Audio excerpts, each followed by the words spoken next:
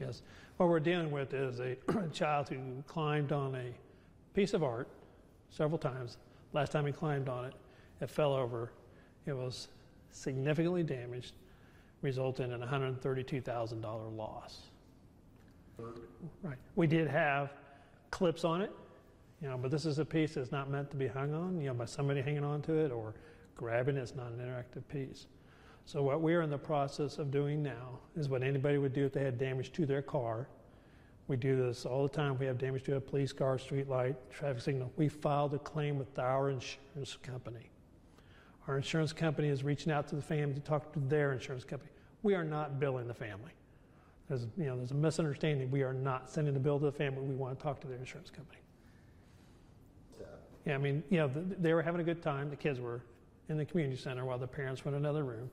It's my understanding when it fell, we went to get the parents. You know, we're fortunate that you know the child wasn't severely injured. Um, but you know, this is art in the center at Tomahawk Ridge. You know, we have over 250 pieces of art in the city, valued at about 5.5 million dollars, paid for if it's not a donation, paid for by tax dollars. So, you know, that's why we file an insurance claim when we have a piece that's loaned to us that we are responsible for.